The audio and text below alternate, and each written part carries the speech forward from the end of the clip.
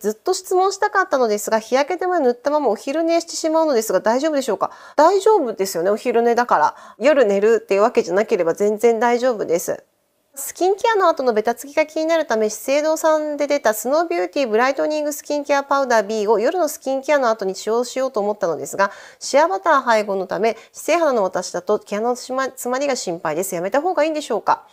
スキンケアの後のベタつきが気になるので何かパウダーを叩こうって思うんだったらスキンケアをもう一回見直してみたらいかがですかね。ベタつきが少ないもの、特に姿勢肌の方でベタつきが多いものをスキンケアで使ってるんで、あれもうちょっとテクスチャの軽いものを使った方がパウダーを叩くというよりもいいんじゃないかなと私は思います。SK2 のフェイシャルトリートメントエッセンスについて質問です。私は乾燥肌なのですが、ベタベタするお化粧水が苦手です。特に朝はさっぱりしたいので SK2 を使用していますが、5回つけてもまだまだ肌に染み込んでいきます。やはり私はひどい乾燥肌なのでしょうか？それともフェイシャルトリートメントエッセンスはしっとりしないのでしょうか ?50 代のエイジングには適さないでしょうか？まずですね、化粧水というのは入れたらどんどんどんどん入っていくと思います。ただそれは角層がふやけてるだけなので、吸い込んでいくというか、フェイシャルトリートメントって化粧水じゃないので、それで使用感としては間違ってはないと思います。ただ、SK2 のフェイシャルトリートメントというのはピテラというガラクトミセス培養液っていうものが入ってるんですね。それ自体は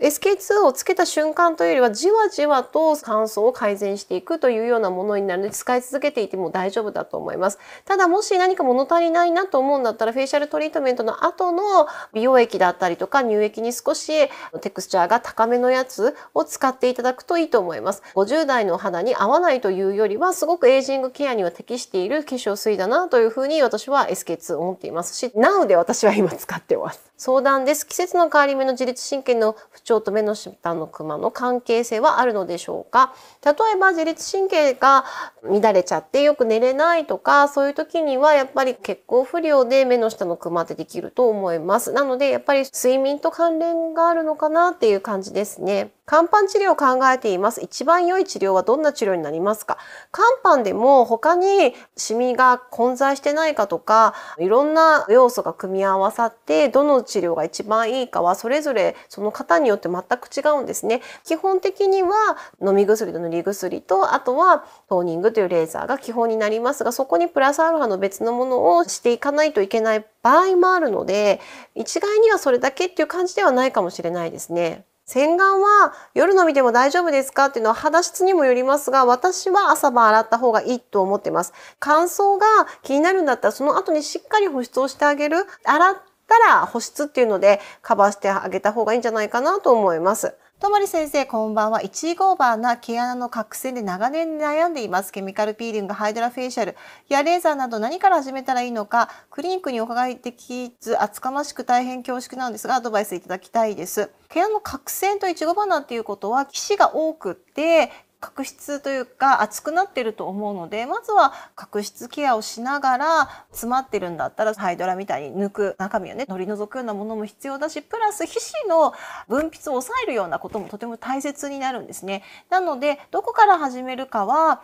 皮脂をテカテカしたのを抑えたいのかそれとも早く中身をきれいにしたいのかそれとも黒いものをなくしたいのかによって全然違うのであとは自分が悩んでるって言ってもどれが一番ひどいのかはやっぱりプロが見た方がいいと思うんですよね。なので美容皮膚科とかも皮膚科とかでご相談いただくのが一番いいかなと思います。スキンケアでやるならやっぱり皮脂を抑えるようなビタミン C だったりとか今度私動画を撮ろうと思ってるのでそれを見ていただきたいなと思うんですけれども今年はドゥオーガニックだったりとかあとはアベーヌさんとかから皮脂テカさんのためのスキンケアが結構出てたりするんですよね。そういうのを塗ったりプラスアルファ覚醒だったら酵素洗顔とかなので毛穴の対策のための成分10個みたいなやつをアップしてるのでご参考にしてみればいいかなと思います。ともり先生、いつもわかりやすく明るい気持ちになれる配信ありがとうございます。とんでもないです。私はナノメットをスキンケアに取り入れていますが、まぶたへの使用は控えた方が良いとも聞くのですが、アイクリームとナノメットは半々ぐらいに混ぜて使ってみたら、